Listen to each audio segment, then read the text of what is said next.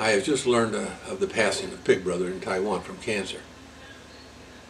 And uh, for his daughters, for his son, for his ex-wives, I just want to pass on to you my condolences and I truly am sorry for your loss because it must have been a tremendous loss. Pig Brother, for millions of us, was there on Sunday mornings to lighten our load. He made life easy. I mean, it was it was fun watching him on his shows on Sunday morning.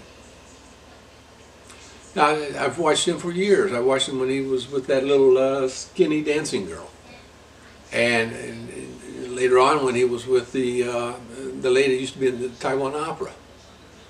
While I don't know their names, I know their faces, I know their, their work. And Pig Brother was was superb.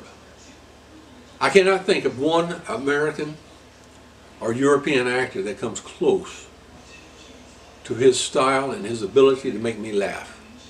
If there is one, it would be Red Skelton.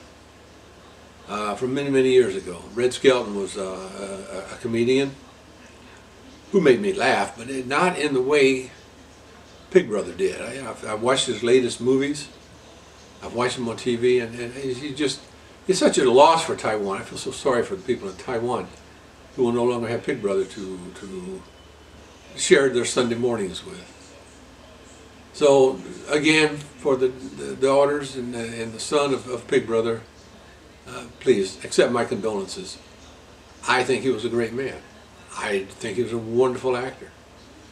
He will be missed.